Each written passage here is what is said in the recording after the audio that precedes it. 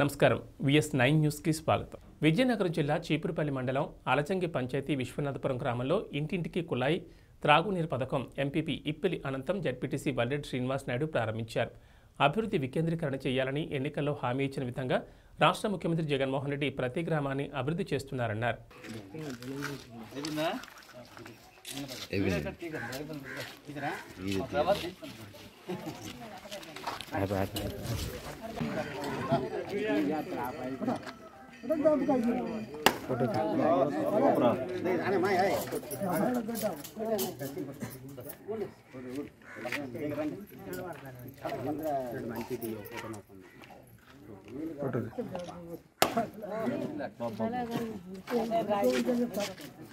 बदला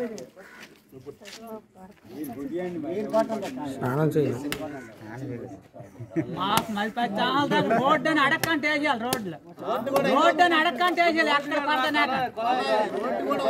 రోడ్లు చేయండి బాబు. బురదైపోతుంది ఎక్కడ? ఉల్లి కారే వచ్చింది కదా ఇలా తిరిగి వచ్చింది.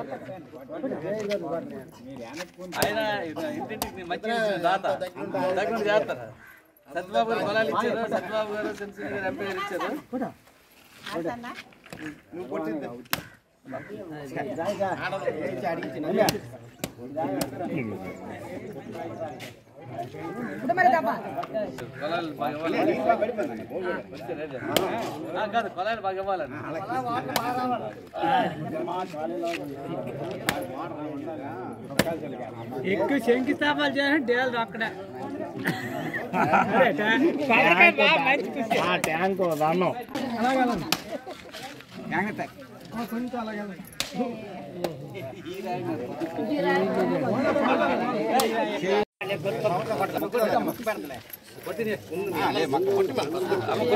అమ్మా ఆ, దానికి రేటు పడాలి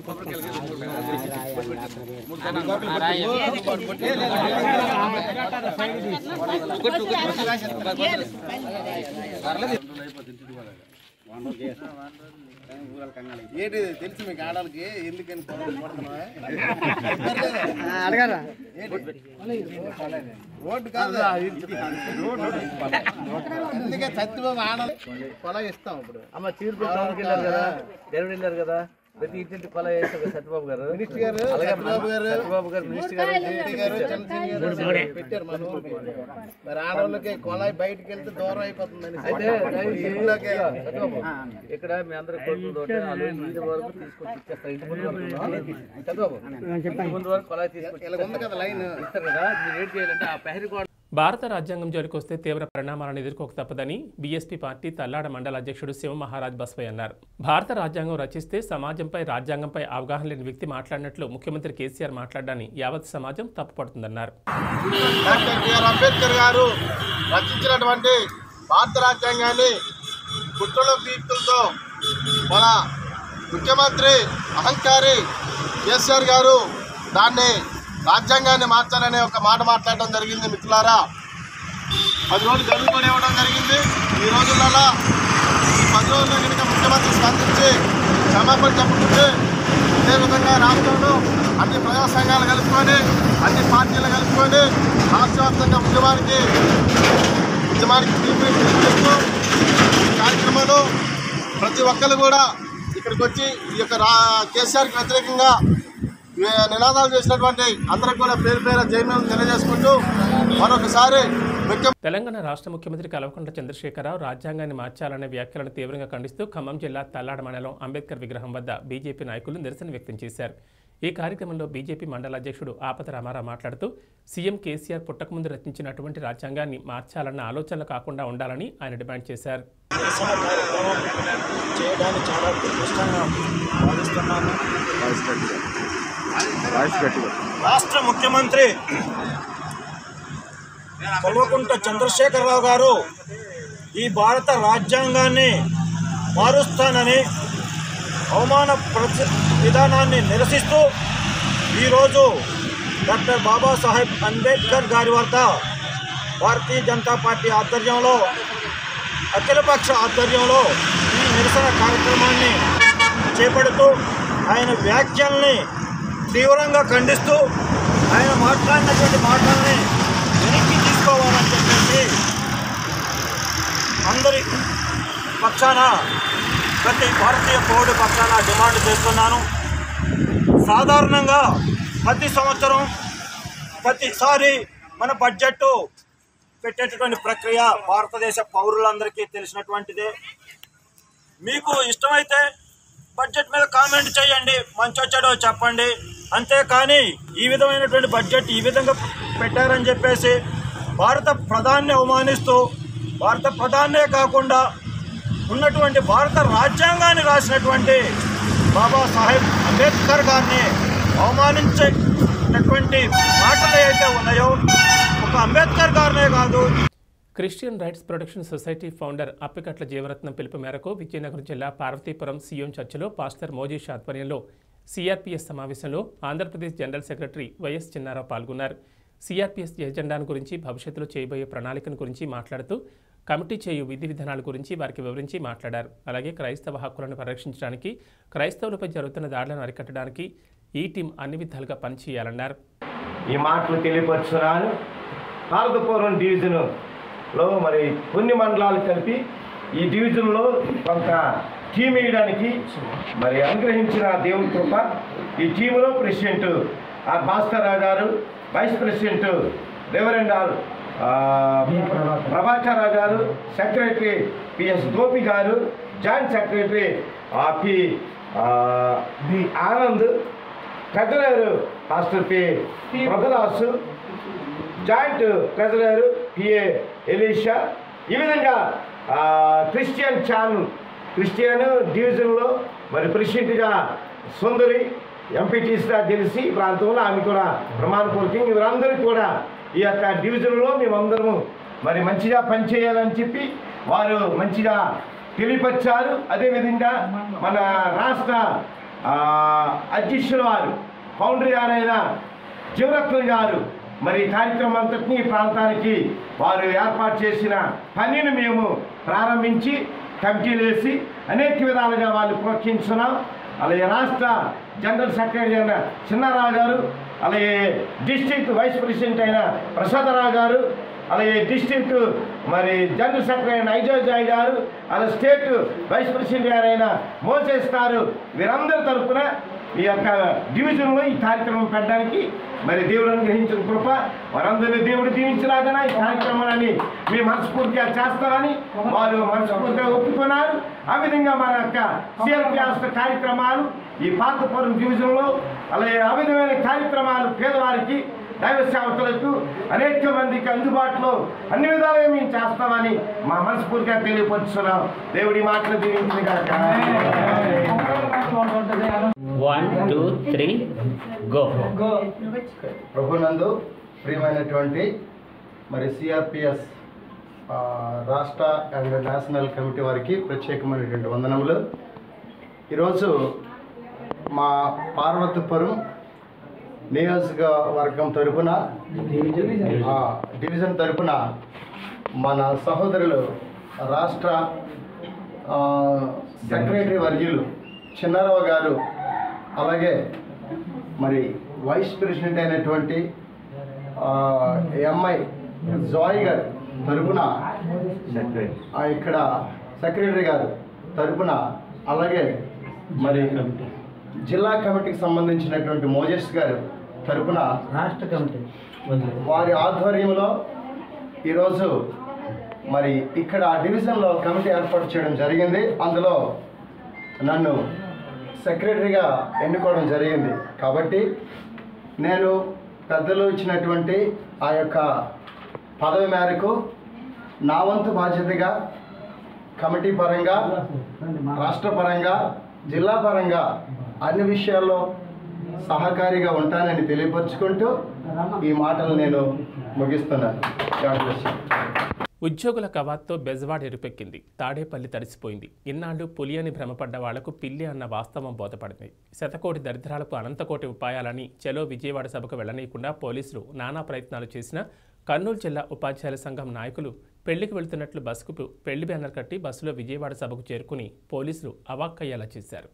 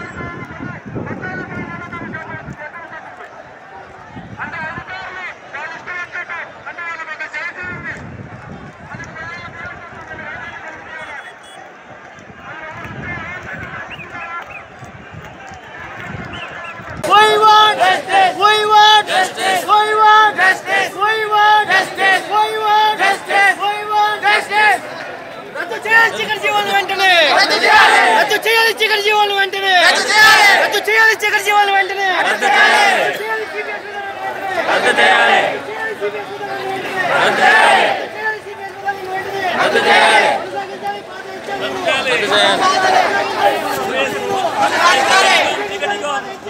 కొనసాగించాలి We won! We won! We won! We won! We won! We won!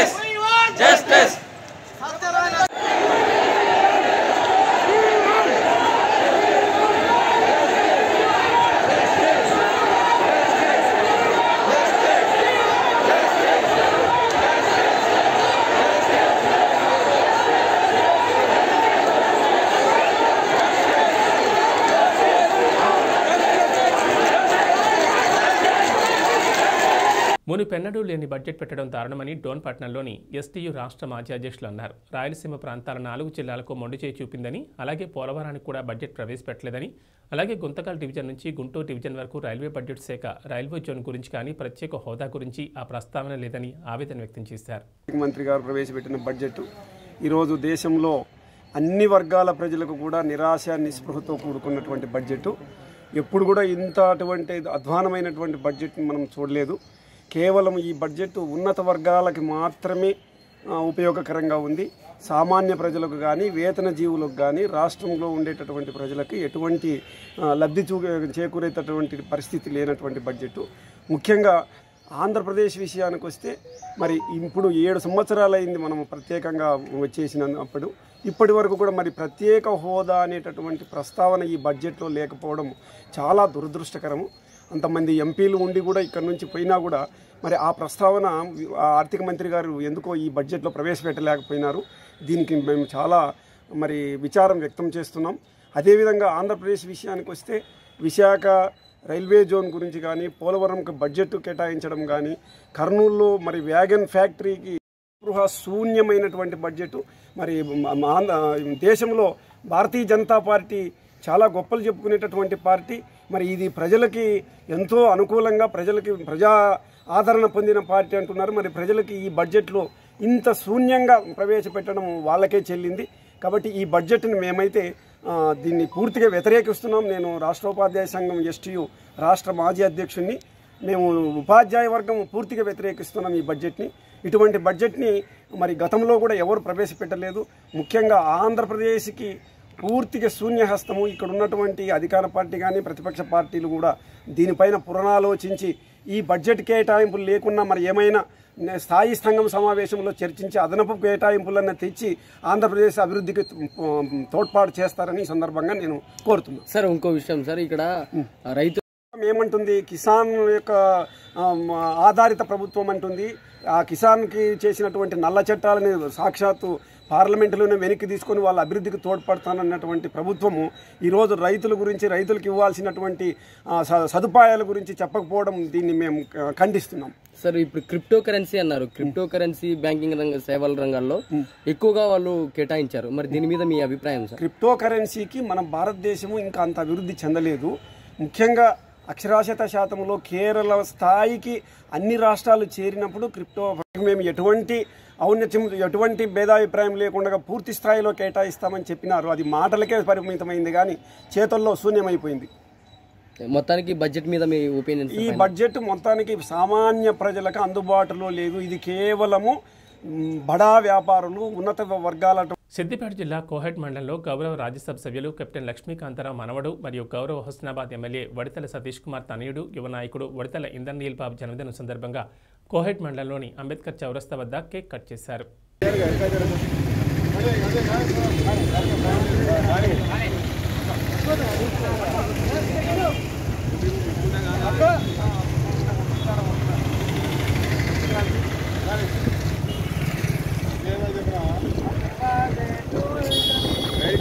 ఏది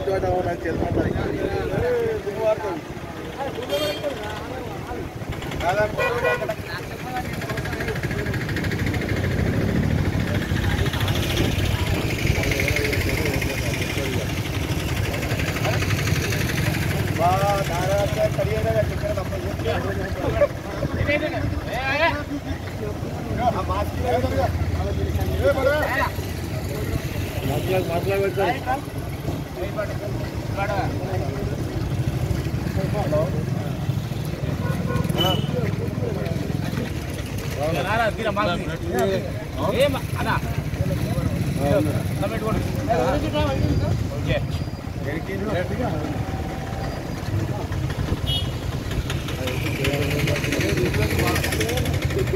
శంకర్ గారు దిగుబాయ్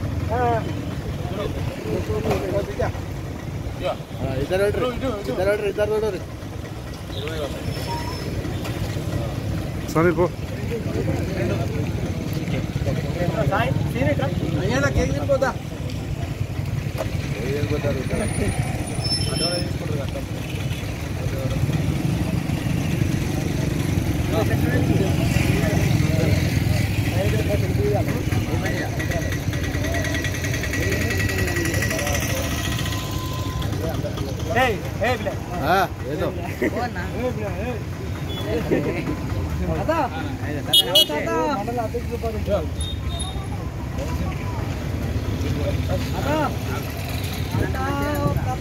ಸೊನ್ನೆ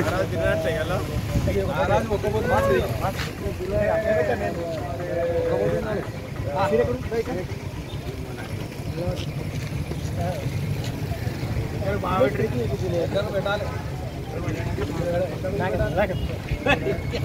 నాగకు ఎటు నాకు మాట తిను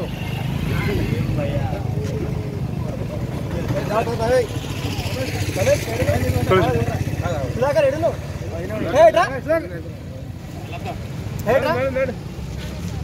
వరకటిపల్లి అడియాలడా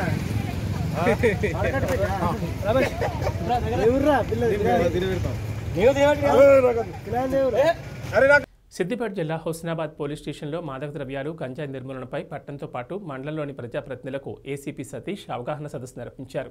హైదరాబాద్ లాంటి పట్టణాల్లో ఉన్నటువంటి యువకులు మాదక ద్రవ్యాలకు అలవాటు పడి ఉంటారని కరోనా కారణంగా వారు గ్రామాలకు ఓళ్ళకు వచ్చినప్పుడు ఇక్కడ ఉన్న యువకులకు అలవాటు చేయడం జరుగుతుందన్నారు. ఉపాధాన్ని మోపాల్సినటువంటి అవ- అవసరం ఉన్నదని చెప్పేసి రివ్యూ తీసుకోవడం. డైరెక్షన్ కంపల్సరీ ఎక్సైజ్ శాఖకు ఉన్నదని చెప్పేసి నొక్కి చెప్పడం జరిగింది. సో దాంట్లో కనెక్ట్ అయ్యి వాళ్ళ యొక్క హెల్ప్ కోరడం జరుగుతున్నది. ముఖ్యంగా గమనిస్తున్నది సో మరి అది సిటీ కల్చర్లో ఎక్కువగా ఉన్నది. కానీ ఆ మత్తులో సమాజంలో నేరాలు చేసినప్పుడు దొరికితే దొరుకుతాననే బాధ పోయే అంటే మనకి ఎగ్జాంపుల్ చాలా వరకు మీరు పేపర్ సామాజిక సామాజిక బాధ్యత అంటే ఈ యొక్క సామాజిక అంటే మీరు మిమ్మల్ని ఎందుకు మీటింగ్ పెట్టారు ఎందుకు పిలిచారు అనేది మీకు డౌట్ వచ్చి సార్ ఎస్ఐ గారు ఇప్పుడు వచ్చింది అంటే ఎట్లుందంటే సార్ పొలిటికల్ లీడర్లు వచ్చిన ఒక ఒకటే మాటలు చెప్పాలంటే మేము దాన్ని పట్టుకుంటాం. దొరికిన తర్వాత సార్ ఇక మీరు మనం రెగ్యులర్గా ఇక సార్ ఇది అది అని చెప్పే కంటే ముందు ఎందుకంటే ప్రజలలో ఉంటారు ప్రజలలో మీకు ఈజీగా మీరు పర్యటిస్తూ ఉంటారు కానీ అక్కడ ఇక్కడ లోకల్ కౌన్సిలర్లో వెళ్ళకుండా క్రైమ్స్ అయితే ఉంటాయి. మనం వాళ్ళని తీసుకొచ్చి మాట్లాడి వాళ్ళని తీసుకొచ్చినాక వాడు దానికి అట్రాక్ట్ అయిపోయి దానికి అడిక్షన్ అడిక్షన్ అయిపోయి అది తాగకుంటే ఉండలేను. ఆ తాగకుంటే అదొక ఎందుకు అంటే దానికి కారణం ఇదే. మనం చదువుకోవడానికైనా లేకపోతే పని చేసుకోవడానికైనా వెళ్ళిన వాళ్ళు అక్కడ గాంజాకి అలవాటు అలవాటు పడి మన టౌన్లో హుస్నాబాద్ వాళ్ళని పసిగట్టి వాళ్ళకి మనం కౌన్సిలింగ్ ఇచ్చడమైనా లేకపోతే వీళ్ళకు వార్డ్ కౌన్సిలర్లకు మీకు మీ వార్డులో కానీ సో వచ్చిన మన స్కూళ్ళలో కౌన్సిలింగ్ ఏర్పాటు చేస్తే బాగుంటుందని చెప్పేసి అనుకోవడం జరుగుతుంది. ఆ విధంగా ఈ మధ్యకాలం లాక్డౌన్ ఉంది కాబట్టి భయప్రాంతం కూడా జరుగుతుంది ఎందుకంటే రాష్ట్ర స్థాయిలో ఇవి బులెటిన్ విశేషాలు. నమస్కారం.